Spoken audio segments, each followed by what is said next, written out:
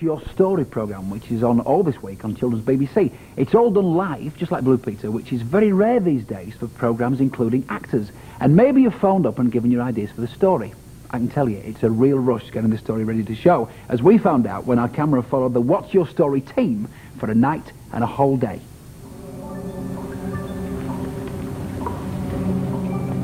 Shine the light just there. Monday's first episode ended at a brick wall. You had the chance to decide what happened next, and we joined up when 50,000 people started to ring. Hello, what's your story? Can I have your name? Right, so the man closes the mine They, they and he knocks the wall and down. We've gone through it and we've found Laura's father. What's the painting?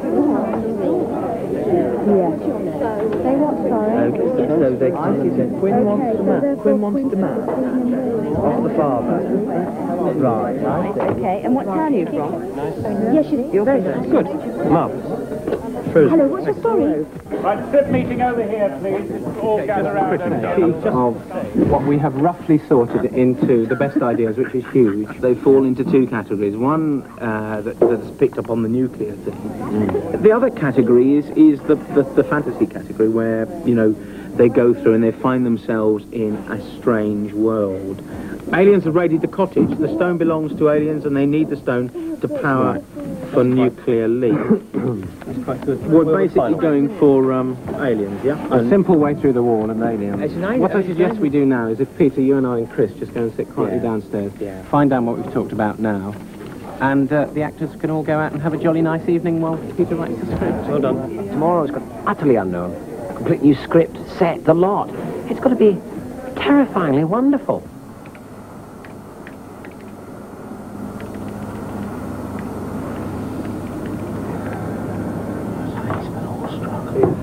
How are you getting on? Uh, I need a computer that can spell. That's, that's Doesn't my biggest problem. Not really. No.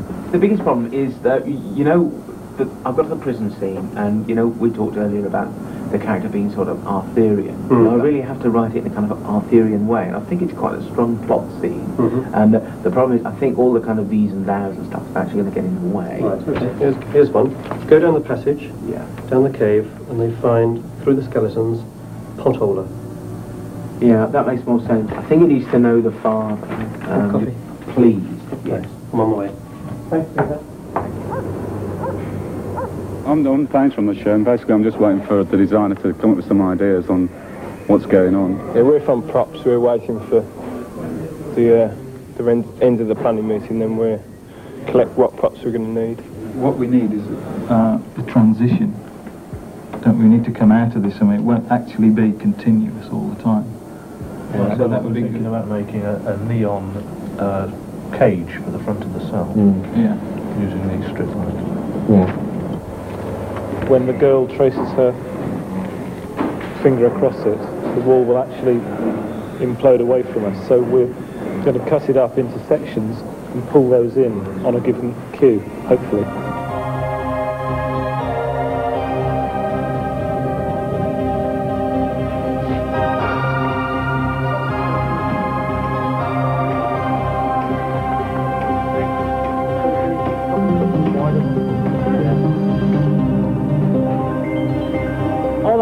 Thanks.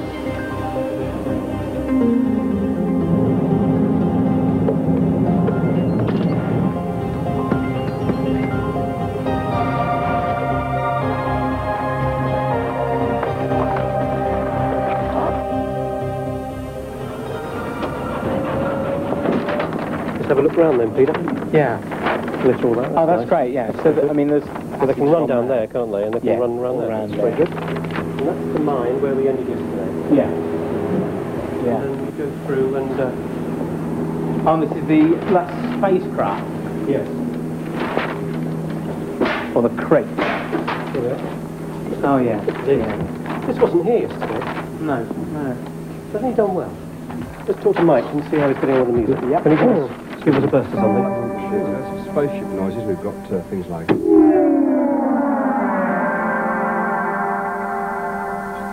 key and Martian sands we've got.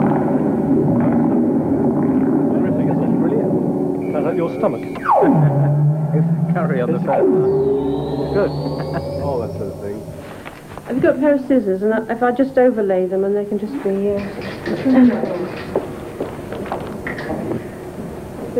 Okay then. Will you help Mr. Shout? Okay, thanks. Let's see, get the hat on and the teeth done.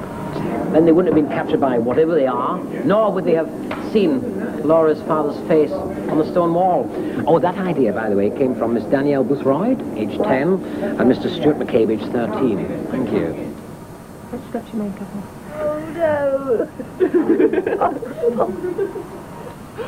Oh Okay, ready on the floor. And cue. Up, up, up. And down. No! Wait! Walking it through, please. Very quiet. Here we go from shot 58. And cue. The new prisoners in Sector 7 will need reprogramming. Hold it there, please. Thank you. Lisa needs to look out more in the line. When she's turning away from the wall, she must turn and face them, not do a half. Girls are tired. She must face Quinton. Good energy. Pausing for the live, for the live program. Very quiet, please. Counting into program. Three. Standing by to cut to one. One. Here's our story. We've put them all together, we've mixed them all up, and this is what we've come up with. Stay with the two. In you go. Shot 25. Steady. Four. They're not very chatty, you probably noticed.